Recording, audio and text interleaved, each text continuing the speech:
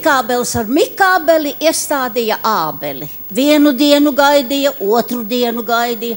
Trešās dienas novakarā kaut kas apsēdās uz zara. Kaut kas mīgs un kaut kas smaržīgs, kaut kas ļoti, ļoti garšīgs. Plūme, ķirsis, bumbieris, zvirbulis.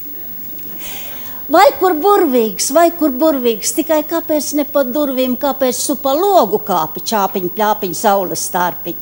Tevi pažēlošu, es uzšūšu tev bikšeles, mīkstu baltu krekliņu, kāpēc negribi to tu? Ir nu gan viens ķiņķēziņš, nu tas saules stariņš, viņš. Tas visiem zināms, pele ir viltniece un mele, bet nepazina pele vēl kastē kartupelis, teica pele. Zirgs ēd auzu, bet es, es tevi grauzu, bet tu, tu arī pele tik saucies kartupele. Mums abiem mājas kastē, mums abiem labas astes, kaut tev šo sauc par asnu, bet ievēros to kasnu Tīk kartupelim glaimi, kaut pusapgrauz, bet laimīgs. Viņš skatās, spēlē mīlīgs, kā burkānu tā vīlē, un šķibīti un šķērē un sadraudzību zvērē. Kad apniks burkāns spēlē, sāks graust tā kartupeli un teiks bez kādām bažām, cik vitamīni dažādi. Re, kāda liela eziena, bet alfabetu nezina. Vai pie jums eziena neskaita nereizina? Ežu mamma saka, pukšu, ko jūs pukšu melšat, tukšu. Ežiem ir vecs, ļoti rets alfabets, apšu A, bekai B.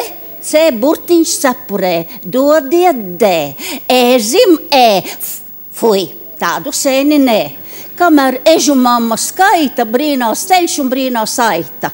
Zāle augšie zemes mati, paši eži aug un skaties savā nodabā jau kluss Rudenis krāso ābolus, kastaņi no kokiem lec. Iet uz beigām alfabets.